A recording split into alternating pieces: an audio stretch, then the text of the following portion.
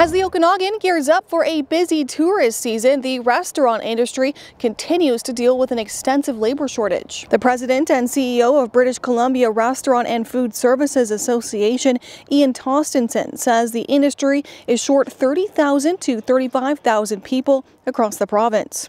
It's significant, and there's a whole bunch of reasons why that happened. I mean, people left the industry, um, we went back to school, they get other jobs the economy is growing, and we've always had a labor shortage in BC even before the pandemic, but now it's been amplified. Tostenson says before the pandemic, the labor shortage was limited to primarily kitchen staff. But now it's all all positions, front of the house, what we call front of the house, or the serving staff, and also the cooking staff. You know, we it's unfortunate because business is really strong right now, and I think tourism is going to be really strong in the Okanagan, and you know, we're starting to feel that with restaurants already uh, it just we'll get through this, but it puts a lot of strain on the existing employees and, and, owners of these properties. Jason Parks, owner of a number of wineries, a cider house, and a brewery in West Kelowna, says they've had to switch gears a little bit. We had to shut down a pizza truck. We had a pizza truck that we wanted to do this year, and we're all excited about it, and we, we're selling it.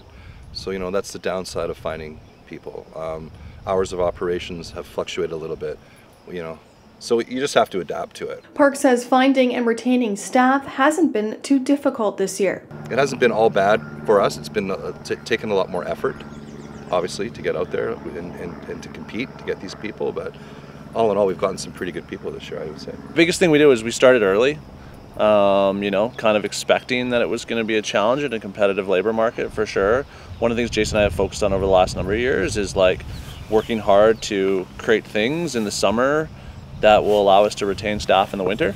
For Castanet News, I'm Madison Earhart in West Kelowna.